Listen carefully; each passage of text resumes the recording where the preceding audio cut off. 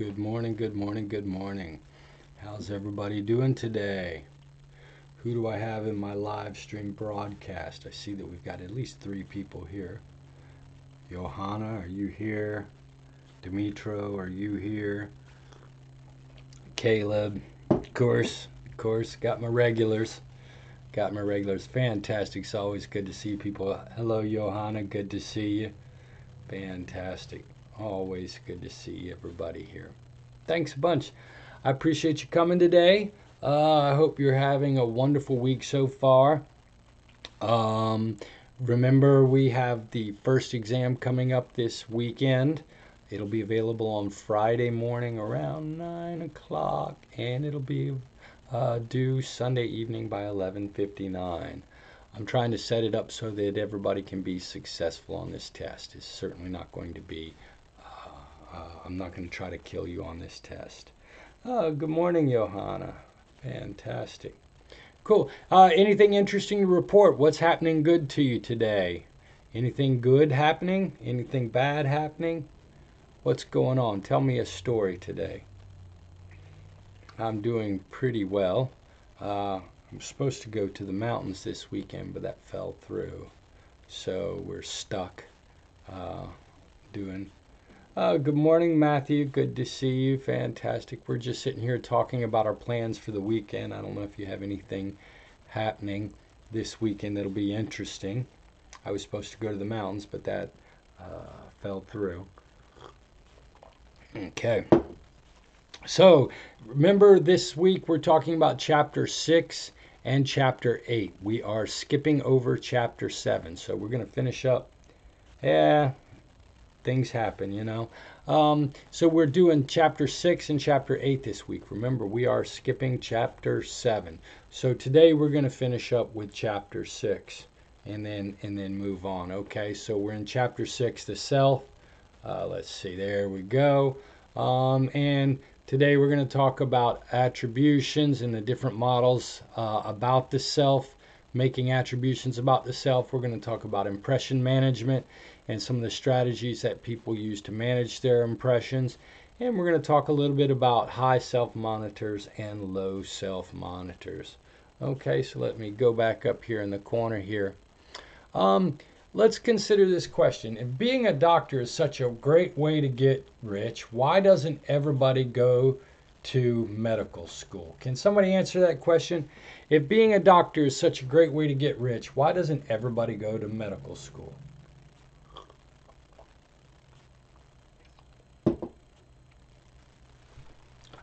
I see we have some crosstalk in the browser. I'm absolutely loving that.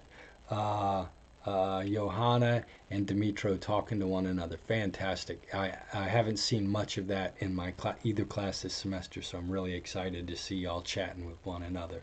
Why wouldn't somebody just, why, why doesn't everybody go to medical school? Why do we not all go to medical school? Because some of us probably don't believe we could make it through medical school, right? Do any of you have friends that you think are underachieving based upon their ability? They're just not doing what you think they could. It's too long for it is too long for school, right? Do any of you have a friend that you think is underachieving based on their ability? Are any of you underachieving based upon your ability? Hmm? Now, here's the deal. The early theories of human motivation said that all human beings were motivated by rewards or reinforcements and the avoidance of punishment. But you know what? Sometimes people will do things even though these behaviors don't lead them to be rewarded. And you know what? Some people even engage in life strategies that punish them, right? How many people do you know do things that only intensify their suffering and pain? And the question is, why do people do these kinds of things? So today we're going to talk a little bit about the self, and we're going to talk about how the self sort of motivates or affects the way we think about ourselves and the way we behave, okay?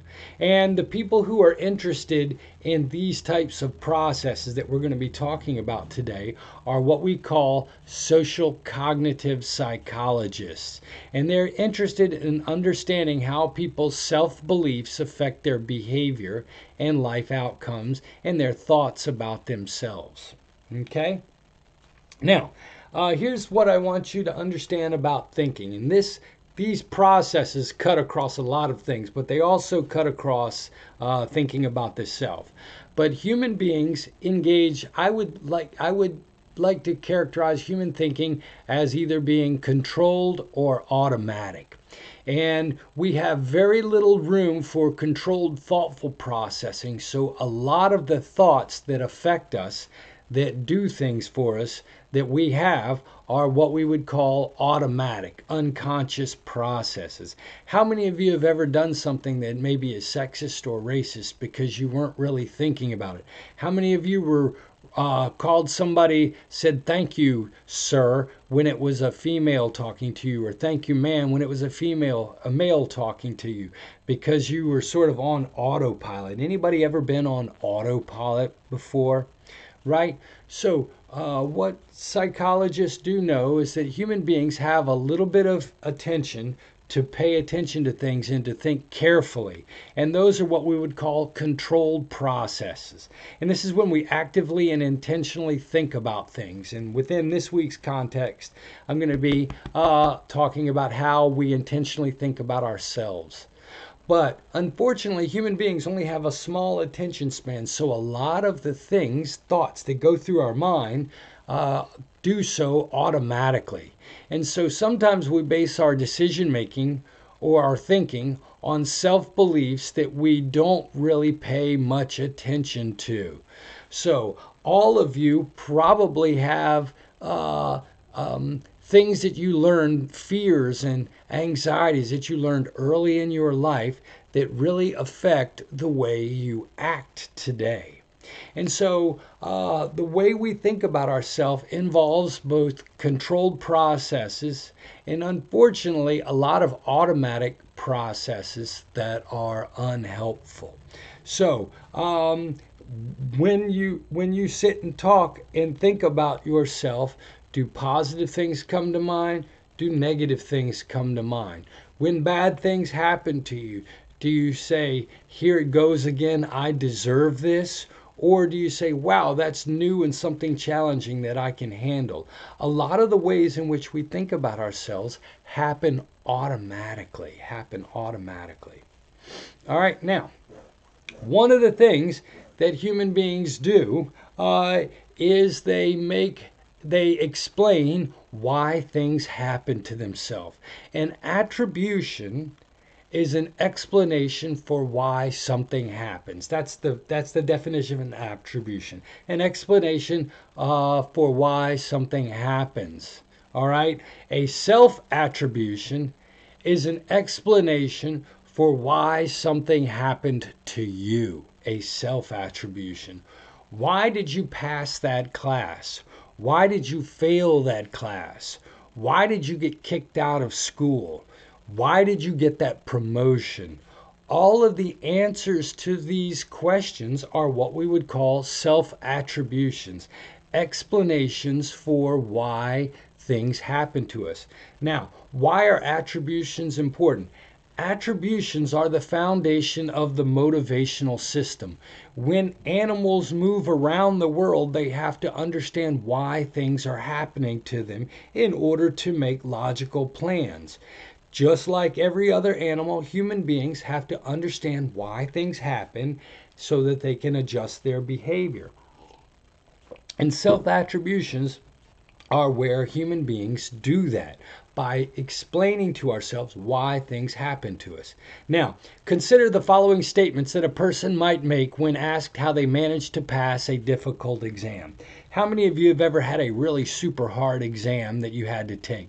Maybe it was some sort of nursing exam that everybody's supposed to fail, or it was an end of grade test, or you took this chemistry class and they told you, oh my God, the exams are so hard, right? If uh, here are three different statements about why somebody passed the exam. I passed that exam because I studied hard. The second person says, I passed that exam because I'm smart. The third person said, I passed that exam because I was lucky. Now, look at these three descriptions of why people pass the exam.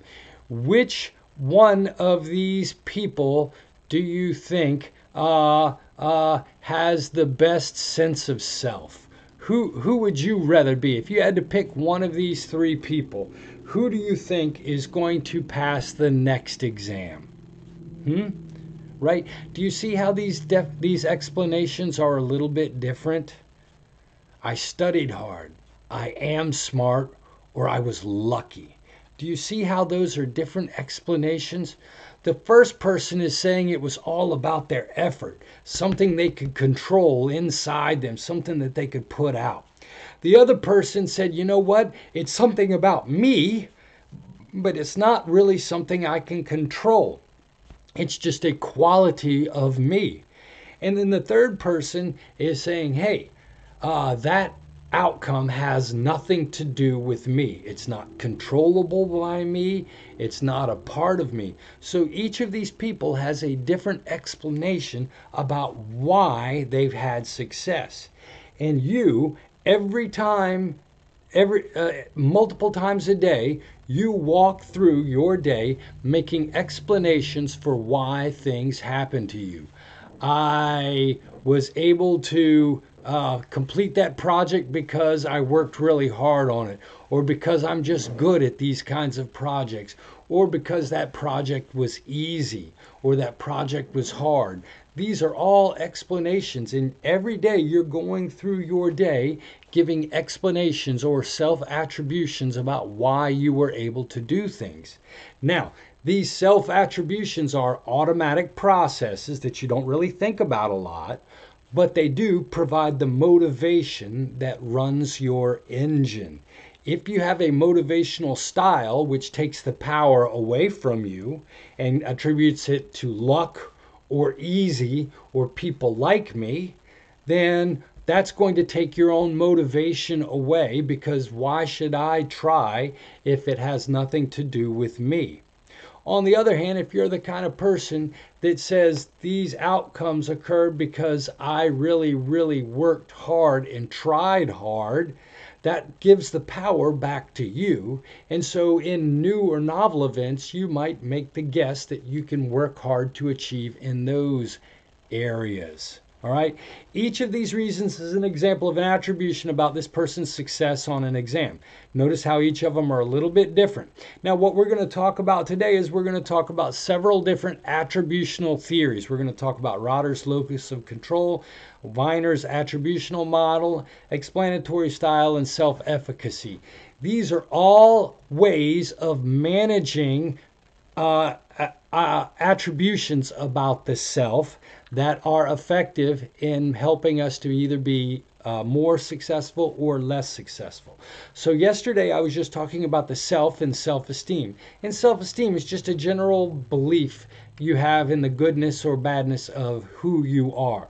But attributions are more fundamental for motivating you to do things or not to do things, right? And right here below me is this crazy attributional uh, model. This is not uh, this is not something you're going to have to have on, know on your exam. But what I want you to see is it's sort of, if you will, a flow chart which a human being goes through when they're trying to interpret why something happens to them. Okay? So, in a sense, we are all scientists trying to figure out why we are successful or why we fail. Okay, so with an event or an outcome, it either turns out well for us, it turns out positive or negative for us. we then try to explain. We become a scientist and try to figure out why it turned out well or it t- turned out poorly, right? And so we go down through these perceived causes and we can either decide that it's internal to us or external to us, our locus. We can decide whether or not it's something that's going to stay the same or change, whether it's stable. And then we're going to talk about whether or not uh, we can control it or the controllability. And so these sort of judgments about our abilities will then cause us to come up with uh, feelings about the events that happen to us. Okay? So let's talk a little bit about locus of control. Uh, this is probably the first attempt at trying to understand human beings' own internal attributional style. And this guy, Julian Rotter, uh, suggested that human beings just have this, he, he sort of started it all. He said, let's think about human beings as having a belief that they can either affect their own outcomes or they can't affect their own outcomes. And so he argued of it, thinking of it, think about it as sort of a personality style. Are you an internal or are you an external uh, personality? So, do any of you have a friend? There you go. Noda wants to be Demetra wanted to be the person who studied hard. Absolutely, you do, uh, Noda, because you can always study hard again. If you got lucky, then why? Then then you might get unlucky next time. Great point, Demetro. Now, here's the deal. Somebody tell me, do you know anybody who thinks that the world is about uh, luck? Do you think? How many of you think that uh, that uh, that the world is driven by fate, that things are just going to happen whether you try or not. Do any of you have that kind of belief? Do you believe in fate? Do you believe in luck? Do you believe in karma? Okay. Now, I'm not saying you are or you are not, but karma, luck, and fate are the kinds of beliefs that people we call externals would have. So, people who think that it's all about luck or timing or things outside of themselves have what we would call an external locus of control. On the other hand, some people think that they are the ones that control the events that happen to them. They say things like, I worked hard, I'm smart, I really, really wanted it, I was the best person for it. These people were what we would call internal uh, uh, internals. And so, one way of thinking about it is that some people just tend to have an internal locus of control, and some people tend to have an external locus of control.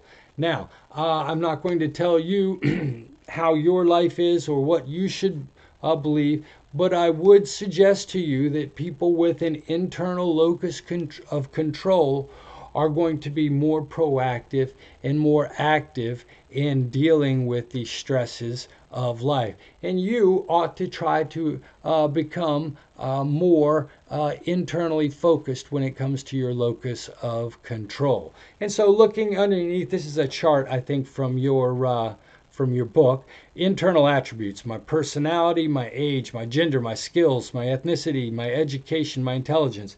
These are all qualities of me that matter. Okay. On the other hand, I might say if it was the setting, it was just a weird classroom. The other people there were just so smart. You know what? I didn't understand the rules, and the rules were tilted against me. You know what? It was just a, it was a rainy day. I can't play well on a muddy field. Uh, it was the time of day. You know what? I'm not a morning person, and we played in the morning. Um, so uh, so there are different ways you can think about the things that affect your outcomes. And I will tell you that an internal locus of control is probably a more effective personality style to adopt. Now, we're going to take that and we're going to readjust, we're going to add to that just a little bit. Um, so, oh, hold on. Headgum. My camera's all in the way. I didn't mean for it to get all in the way like that, but it is. There we go. All right. There we go. Okay. Lock them back up. There we go. So uh, this guy named Bernard, Bernard Weiner added a second dimension to this model. He said, you know what? Thinking about internal or external, uh, that's useful, but really people also make the judgment about whether or not this quality is likely to change. So think about it. Uh, you tried hard and worked really hard. Like uh, uh, Dimitro said, he'd rather be the person who studied hard. Uh, uh if you're the person who was smart, uh, Dimitro, in another situation, might be able to outwork you. Dimitro, why wouldn't you want to be the person who was smart rather than the person who uh, studied hard? What's the difference to you, uh, Dimitro? If you would, go ahead and type that in the chat bar. And so, uh, what Weiner suggested is we needed to add this second dimension, whether or not these causes could change or not. If you think about it, if you're a smart person, you just have that level of smart, and there you go. That's what you can do. And that's a very internal quality. However, if you meet something that's above your level and you're saying that you are simply smart, you can't change your level of smartness. On the other hand, if you're a person who works hard and you meet a task that is more difficult, you can change your level of effort. So uh, he suggested that we think about these attributional styles as including sort of a stability dimension as well. All right. So here's the deal when you do well or do poorly on an exam, is it an internal unstable cause? You know what? I didn't try very hard. Um, I didn't. Uh, I didn't. I didn't feel very good. Uh, I was kind of tired. That's an internal but an unstable uh, attributional style. On the other hand, an internal stable would be, you know what, I'm just that good at this activity, or I am just smart at this activity. Now, when you look at these two, I'm going to suggest to you that the stable internal attribution can sometimes be problematic. Because when a person is faced with something that is above their ability level, a person who thinks that uh, their performance is all about their talent may not be willing to work a little bit harder. On the other hand, the person who generally uses the internal unstable causes of effort, that person may see a way to change their performance to achieve a better outcome. Ah, a smart person would never say about yourself that he or she is smart. You know, I would agree with that, uh, Dimitro, and it's probably because they know that their smartness is a function of how hard they work too. Okay? Um, you know, I saw an interview with Ed Sheeran uh, the musician. I don't know if any of you have heard of the pop star Ed Sheeran. He said he really laughs when people come up and tell him that he's just a great natural artist. And he made the joke about how hard he works, and he actually showed an earlier performance uh, he has on his phone of him, and he is not very good. And so, what he's trying to suggest is uh, his ability, his performance, his stardom is not a quality of necessarily any fixed ability, but it's all the effort that he's put into the activity. Now, people who are externals, as I suggested to you, the people with the external, uh, the uh, ex- external uh, causes are going to a lot of times uh, be more willing to give up. Uh, they're not going to focus and and and and, uh, and uh, be able to uh, uh, meet with failure as adequately. And so, an external unstable would be saying, Oh, I got lucky. It just happened this chance. Boy, I got an easy teacher. The test questions just happened to be lucky. Or some people say, You know what? The task was just too hard for me, which is external and stable. Okay? And so, uh, in a sense, uh, you can think of these two basic dimensions uh, as sort of a way that people use to make attributions about why they are successful or fail in their life. Now, uh, here's the deal. How many of you, which, if you had to pick one of these four, one of these four areas, what do you typically do when you uh, are successful or failure? Is there one box that you tend to pick out? Do you tend to say, you know what, I'm just good? I'm just good. Um, or do you say, man, I really, really worked hard? Or are you a person who believes in luck and karma? Or do you just, when you fail, do you say, man, those things are just too hard for me?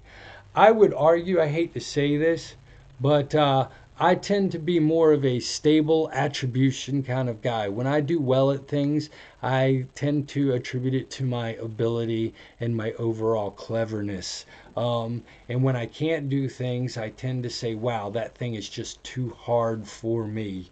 Um, and I probably could spend more time uh, thinking about the amount of effort that I put into things to become good and uh, allowing that to help me understand my failures better. Sometimes I give up a little too quickly because I make the stable judgment that it's never going to change. Now, uh, down here at the bottom of this chart, you'll see it says controllable or uncontrollable. Some people have even suggested a third a third dimension, whether or not I can control uh, that unstable thing, or is it something that is uncontrollable, right? So luck and chance are not controllable. Effort and uh, fatigue are things that I can control uh, to a certain degree. And so this is a way of making attributions about the things that happen to you. And so, what I'm going to suggest to you is to examine how you attribute the successes and failures in your life and find out which of these squares uh, you tend to uh, go to. And I will tell you that inster- internal unstable causes a lot of times are going to provide the most motivating uh, behavior for you because you're going to continue to increase or to focus on these unstable qualities that are inside you. How hard I work, whether or not I'm tired or rested, uh, whether or not I maintain a good attitude. These are the kinds of things that you can control. These other things are harder for you to control, so it's going to be easier to give up and quit. All right? Now, um, this fellow named Martin Seligman actually wanted to try to understand uh, uh, how people dealt with bad situations at work. So he went to a big organization that had just done a massive layoff. And he had people fill out questionnaires um, and then he tracked these people to see how successful they were in dealing with the negative emotions of getting laid off and how successful they were in resuming activities by finding another job, another good situation, another positive. And he, he uh, realized that these two people, uh, these two groups of the people who were successful differed from the people who were not successful after the layoff because of a quality he called explanatory style. Explanatory style. So he went to this business where they did these layoffs. He followed the people and he asked them lots of questions and tried to characterize the difference between those people who dealt well with the layoff and those people who dealt poorly with the layoff and he found a quality he called explanatory style, which is the tendency to use similar causal attributions for a wide variety of events. Uh, and he suggested that some people had uh, a, an optimistic explanatory style and other people had a pessimistic explanatory style. All right. So the people who had the optimistic explanatory style, they attributed their sex uh, their setbacks to external, unstable, and specific factors. Well, you know what? It just happened. This is what the business did. Uh, this is their decision that they made, and I am still uh, a, a quality person. So they didn't lay me off because I'm inferior. They laid me off because they had a need. It was external, it was unstable. It's just this temporary thing all right, and it's because of their merger, right? So they uh, explained their setback using these self protecting terms. On the other hand, the people with the pessimistic explanatory style saw the layoff as occurring because they weren't good enough. There was something wrong with me, And it wasn't just one ability I was doing, I'm just not a good employee. And so what he found was that there were two basic ways of dealing with this layoff. Some people used an optimistic explanatory style, and other people use a pessimistic uh, explanatory style. So when bad things do happen to you, when bad things happen to you, uh, do you make some sort of judgment about yourself? Do you say, wow, I'm not a smart person? Uh, what was wrong with me? Do you make that pessimistic uh, judgment? or are you an optimistic kind of person? So here's the deal. I, I, as I suggested to you, I went and applied for my dream job uh, a while back, and I really thought I was a strong candidate, and I did a great interview, and my resume was awesome. And when I didn't get the job, how am I going to explain that to myself? Well, what I did was I made it external and unstable. Hey, it was these people they made a decision and it was based on their need for uh, this specific kind of person who was somebody else and not me. So, what I tried to do was I took all of the negativity away from myself and allowed me to still maintain a positive sense of self. The idea with these uh, with these attributional styles is that you want to choose an attributional style that protects the self. Bad things are going to happen. You have to be able to protect the uh, self by using your uh, attributional style. Okay, and so uh, we've got internal and external locus of control, right? Uh, we've got a model that includes locus of control as well as a stability dimension. And I suggest to you that how we combine these judgments, stable, unstable, internal, external, can either lead us to having an optimistic explanatory style or a pessimistic explanatory style. Now, if something good happens, you would want explain that positive experience based on internal and maybe unstable qualities. Well, I worked hard and it was about me. And so what uh, what Seligman found was that the way in which you manage these internal and stable internal, external, and stable, unstable judgments uh, allowed you to protect the self in times of negative outcomes. And I would ask you, are you a positive, are you an optimistic or a pessimistic person? Now, um, and so one way of thinking about self processes is that human beings use attributions or ex- explanations for why things happen. They can either use them to buffer the self from negative events or not to buffer the self from negative events. And remember, I said the self is just a series of concepts that you have in your mind. And human beings are motivated to maintain a positive sense of self if possible. And so, attributional style can lead you to do that effectively or not do that effectively. Now, uh, self regulation and self efficacy, they're not necessarily interested in how people explain events to themselves, but they're interested in a quality of control that is associated with success. Okay, Dimitro's uh, optimistic most of the time, and you of all people are having some of the strongest challenges. I admire that in you, Dimitro. Fantastic. By the way, thank you very much, Dimitro, for uh, for for commenting a lot today. I really really appreciate your being engaged in the uh, in the lecture. And so the people from the self-regulation self-efficacy, they aren't so much in people's explanations of why things uh, come, but how people are able to control the self, to control the self. So, one of the important qualities in determining how successful you are as a student, how successful you are as an employee, how successful you are as an adult is your ability to control your impulses. How many of you have ever done something that you shouldn't have done because you couldn't control yourself? Maybe you made that rude statement to somebody and you should have kept your mouth shut.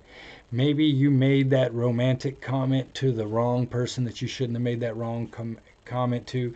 Maybe you, uh, maybe you ate that piece of food that you shouldn't have made. How many of you have lost control momentarily? Happens to the best of us, doesn't it? Well, we're going to talk a little bit about that quality here uh, in this slide: uh, self-regulation self-efficacy.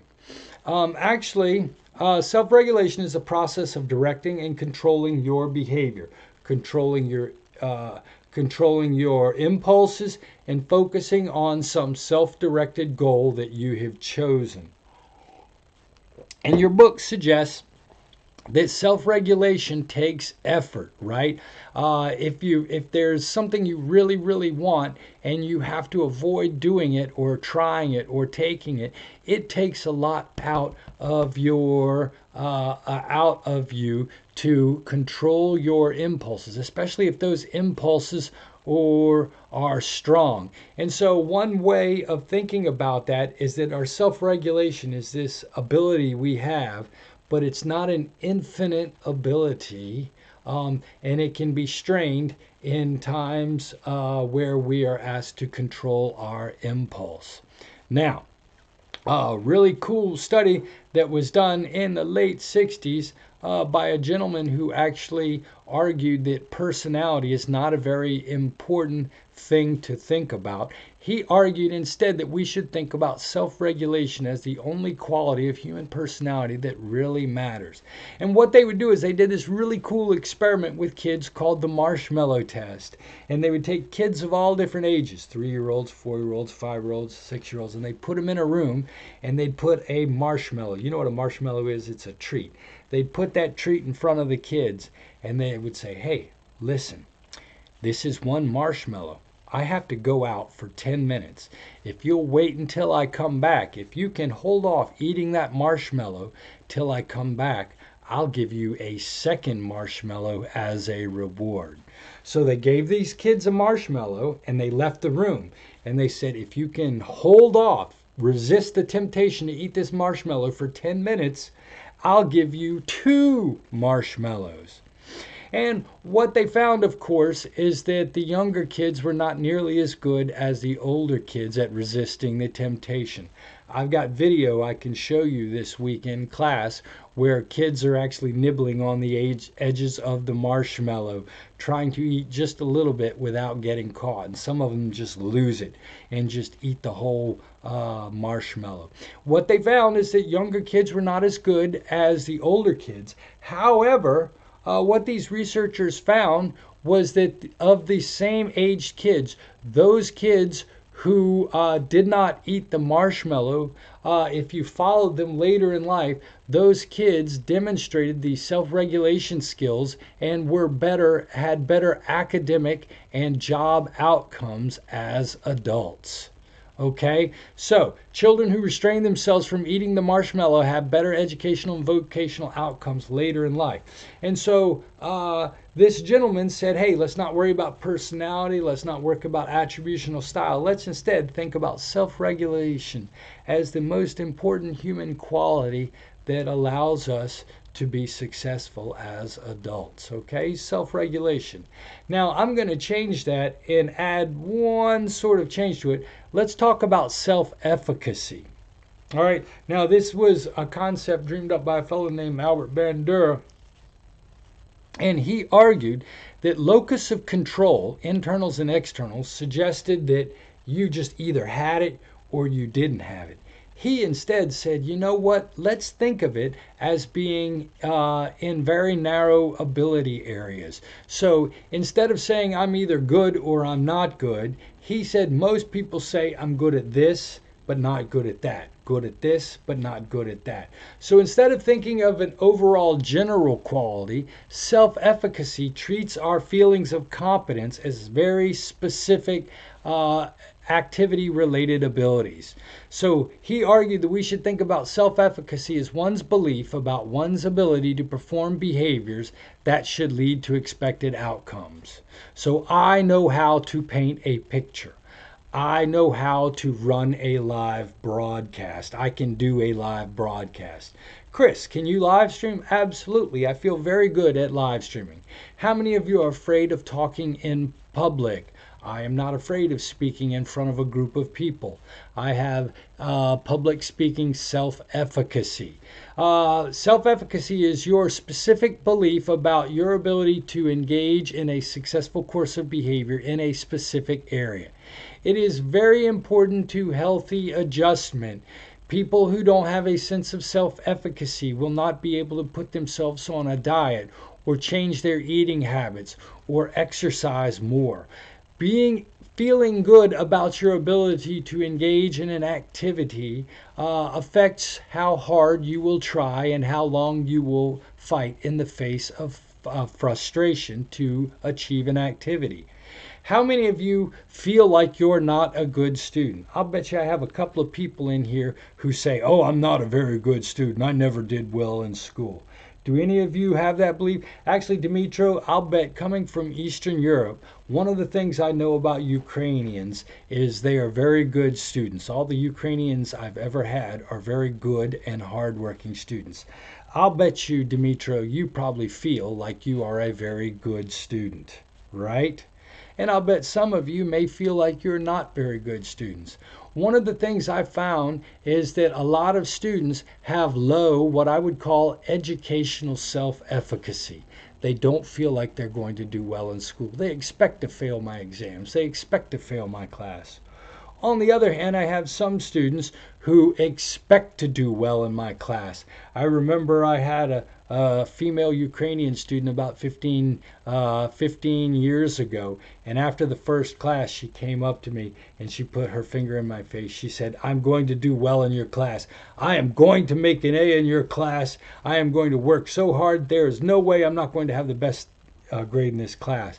And the way she pointed at me, Dimitro, I wasn't sure if it was a promise or a threat. But this girl told me on the first day of class that she was going to make an A in my class. And lo and behold, she was able to marshal the effort together to, uh, to achieve this goal. She had what's known as a healthy sense of self efficacy.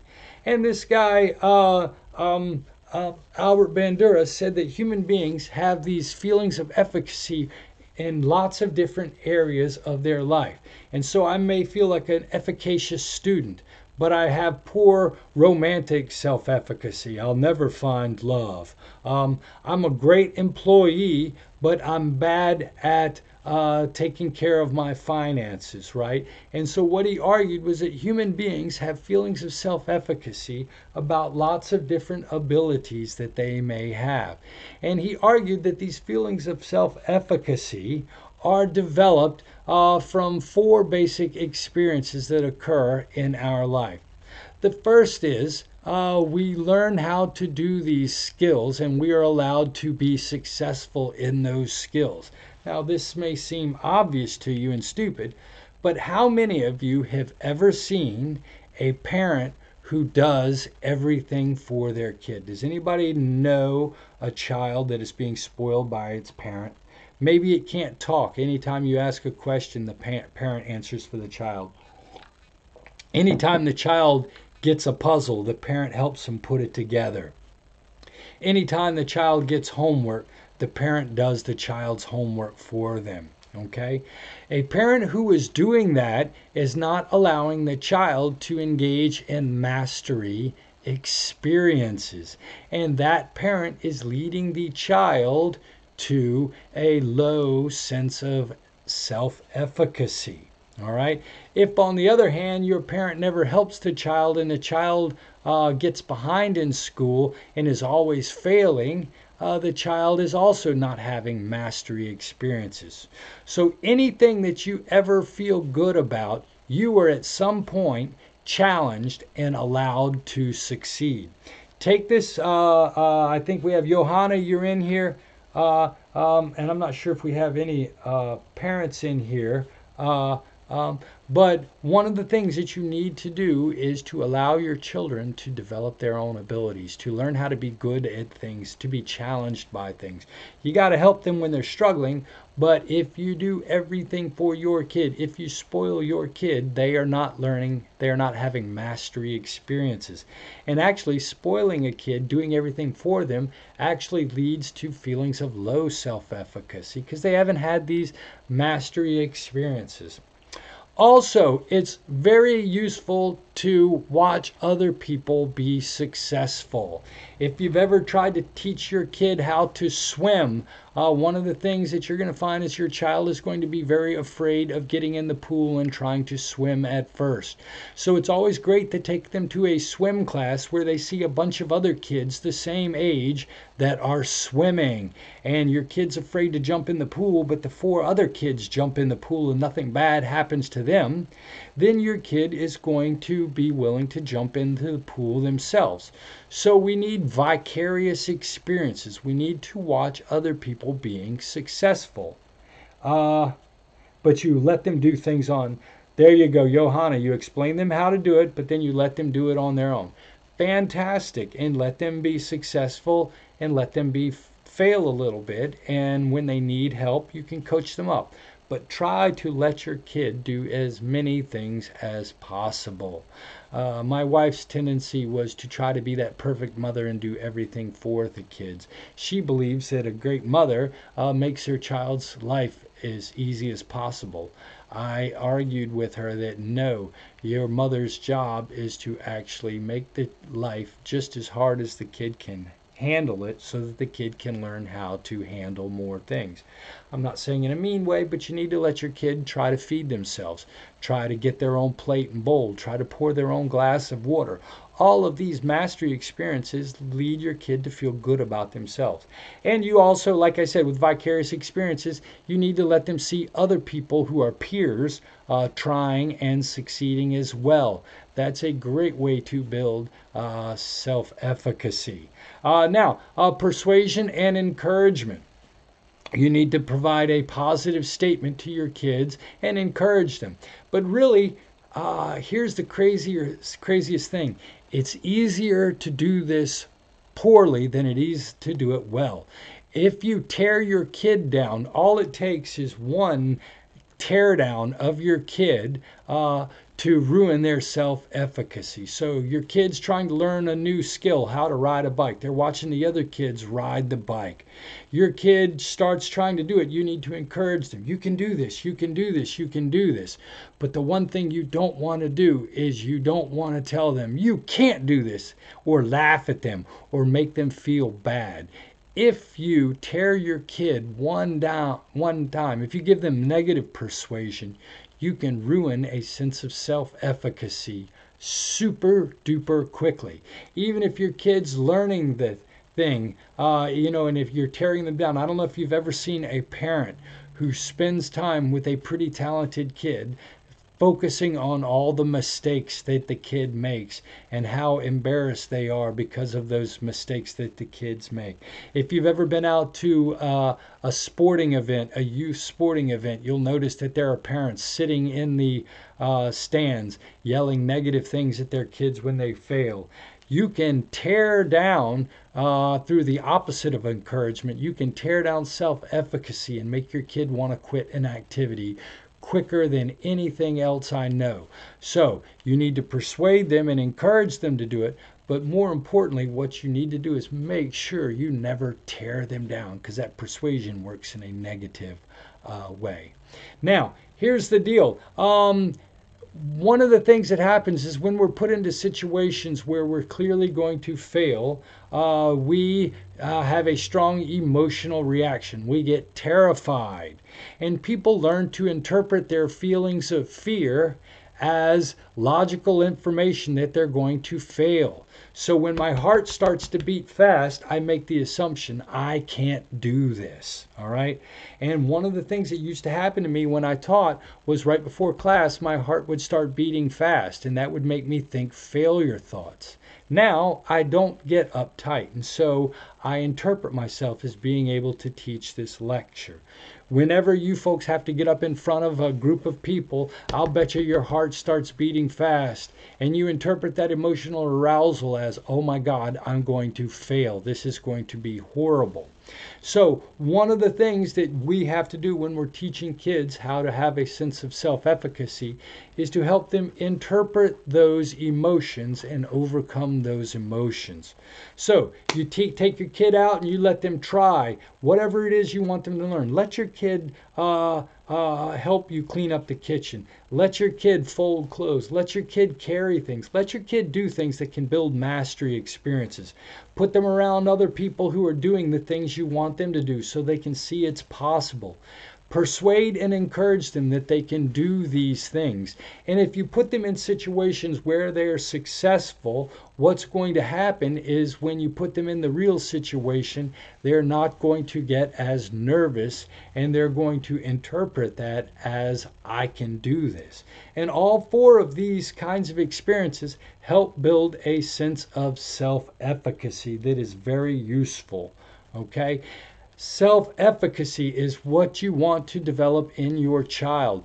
One of the things that I see in my students a lot is I see kids who have been taken care of most of their life and their parents have taken care of all of their problems gone to school when they've had arguments, uh, helped them with all of their tests, never let them fail, uh, made sure they were on uh, sporting events teams where they were accepted. They never had to sit the bench. And if you make it so that your child never has to struggle, and then you throw them into an adult world with lots of challenges, the child is going to feel overwhelmed. Overwhelmed. When my kids turned 16, I did buy them a car, but I told them no gas. You have to buy your own gas. So they had to get jobs. When my boys turned 18, I took them down to the Verizon store and I signed their phone bills over to them. And I said, you know what? If you pay your phone bill, you'll have a phone. If you don't pay your phone bill, you won't have a phone. When my kids turned 19, I took them down to the uh, insurance company and I signed over their car insurance. I said, you know what? If you don't pay your car insurance bill, uh, you can't drive your car.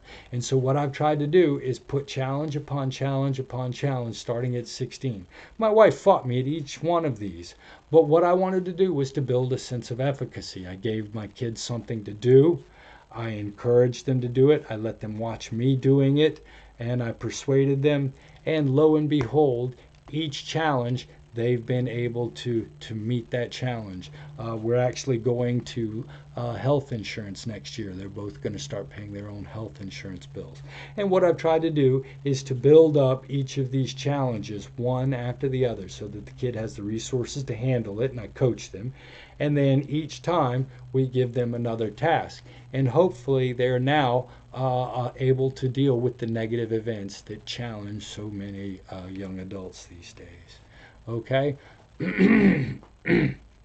um, you know what? We are out of time. I'm going to have you just read uh, this last slide on self presentation uh, and suggest to you that there are some people who uh, are who spend a lot of time thinking about what image they are presenting to other people. These are called high self monitors, and other people are what we call low self monitors. We don't really spend too much thinking about what kind of image we are putting out there to the world. And so I want you to read a little bit about public images and self monitoring on your own. All right, today, that's the end of today's lecture. Uh, it's Tuesday. Remember, tomorrow night we're going to have the webinar, uh, and I'm going to show you the marshmallow test. Um, and we're going to take some some uh, self inventories and learn a little bit about our our intellectual and emotional functioning with regard to ourselves. Okay. Um, does anybody have any questions? Okay. Thanks, Dimitro. Uh, I appreciate you participating today. Johanna, same with you. Uh, I always love it when you blow my chat bar up, so please feel free to talk to me and to talk to each other. I love the crosstalk as well. So unlike a regular class where you're encouraged not to talk to your other students, I actually like to see the other student chatting in the chat bar. Hey, thanks for coming today. Y'all have a great day. You are a fantastic class, and I look forward to seeing each and every one of you in webinar tomorrow night at, uh, at 8 at 8 p.m. Uh, meanwhile, have a great day, and I will see you soon. Take care.